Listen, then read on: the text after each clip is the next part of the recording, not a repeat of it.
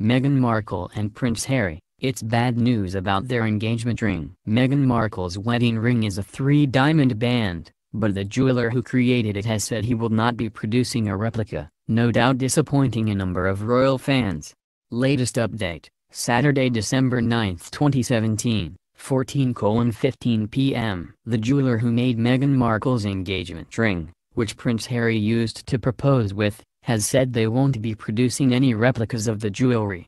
We're not going to making replicas of it, the director of Cleave & Company Stephen Connelly told the Associated Press. If you want a ring, then we'll design new and different one, he said, addressing potential customers. The engagement ring is a three-diamond band, two diamonds from the late Princess Diana's collection, and one from Botswana. Saturday, December 9, 2017. 12.25 p.m. Meghan Markle kept her long-distance relationship with Prince Harry going by sending regular text messages, it has been revealed. They communicated via the medium of SMS in order to keep in contact while they were apart, as well as using FaceTime daily. Prince Harry is also said to be a fan of modern texting conventions, such as using GIFs and emojis, according to E! News. During most of their one and a half year long relationship, Meghan was often away filming the television legal drama Suits, at the location in Toronto.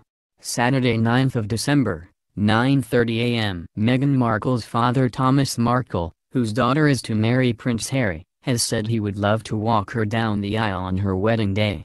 Thomas, 73, who is a former television lighting director, added he was delighted for the royal couple, who are due to marry in May 2018 at a ceremony at St. George's Chapel. Windsor Castle after a year and a half of dating. Yes, I'd love to. I'm very pleased, he told the Daily Mirror when asked if he would like to give the 36-year-old actress away. A father giving away a bride is a tradition from when women were their father's property until they got married, and then became the property of their husband.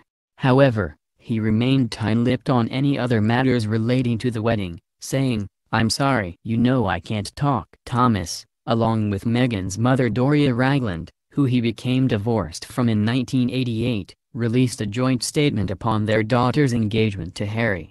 We are incredibly happy for Meghan and Harry, they wrote in the statement released by Clarence House. Our daughter has always been a kind and loving person, it continued. To see her union with Harry, who shares the same qualities, is a source of great joy for us as parents. We wish them a lifetime of happiness and are very excited for their future together. In 2016, Meghan wrote a heartfelt Instagram directed towards her dad on Father's Day. Happy Father's Day, Daddy. I'm still your buckaroo. To this day your hugs are still the very best in the whole wide world. She also thanked her dad for her work ethic in the post, as he is known to have introduced the actress to her first experience of television sets in his work as a lighting director.